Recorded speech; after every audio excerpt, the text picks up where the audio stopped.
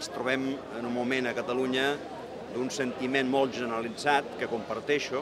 de greuge tant econòmic com nacional. I en aquest sentiment de greuge econòmic i nacional, sens dubte, s'hi ha d'encaixar la defensa de la llengua i de la llengua a l'escola i, per tant, del sistema d'immersió lingüística a Catalunya. Crec que no hem de fer cap pas enrere, crec que podrem resoldre judicialment, però reitero que en el cas de que no hi hagués possibilitat de resoldre judicialment s'ha d'exaurir totes les vies, però en cap cas hem de fer cap pas enrere. Jo me n'alegro molt que la ministra, després de quatre anys d'absència de Catalunya,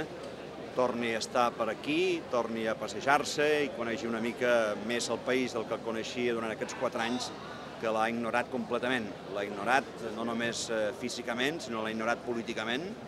No va complir la seva paraula donada en el debat a TV3 de que si calgués votaria diferent del PSOE, ha votat sempre igual que el PSOE. Jo crec que hi ha algun partit, el de la senyora Chacón, que li hauria de caure la cara de vergonya de parlar d'amenaça del benestar social.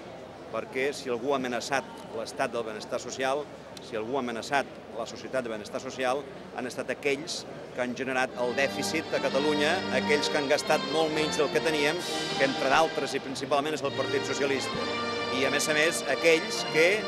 a nivell d'estat, en un govern de la qual forma part la senyora Chacón, han deixat aquest país amb pràcticament 5 milions d'aturats. No hi haurà referèndum, entre altres coses doncs, perquè el PP i el PSOE no el volen i el PSC no és capaç ni tan sols no de votar diferent, sinó de tenir una veu diferent i en aquest cas una veu que no es tracta de signar un paper que no és ni tan sols anar en contra del PSOE sinó a favor del poble.